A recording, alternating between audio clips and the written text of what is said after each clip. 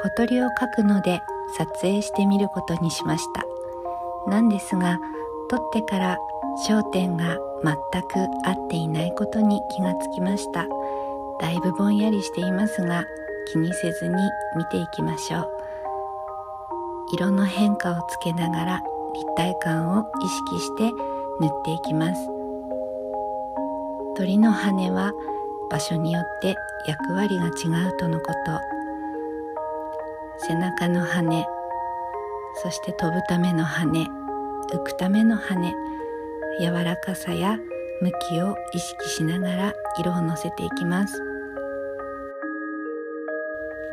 パレットの中の色合いを生かすために水の上にこすらずに色を落としていきます。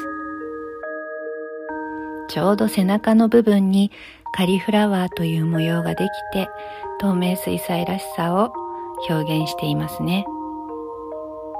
どんどんと羽を描いていきます。ですがやはり焦点が合っていないのでぼんやりとしていてあまりよくわかりません。アップにしてみたり引いてみたりしましたがやっぱりよく見えませんね。皆さんごめんなさい。少しずつ筆を重ねながら羽の表情を色づけていきます。凹凸立体感だけではなく羽の質感も意識しながら羽の先端に向けてはだんだんと硬質なイメージ羽の先の硬いイメージを持ちながら筆を動かしていきます。背中の方はもっとふんわりとした柔らかい産毛をイメージしています。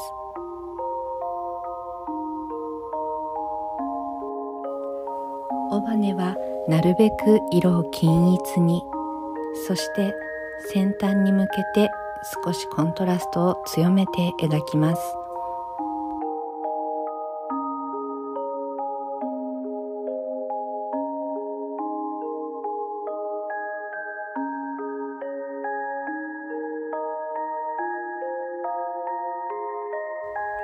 尾羽も描き終えていよいよ仕上げに向かいます。光の陰影。だいたい画面の手前側に影が落ちているようなイメージで色を重ねていきます。そしてくちばし最後に瞳を入れて完成になります。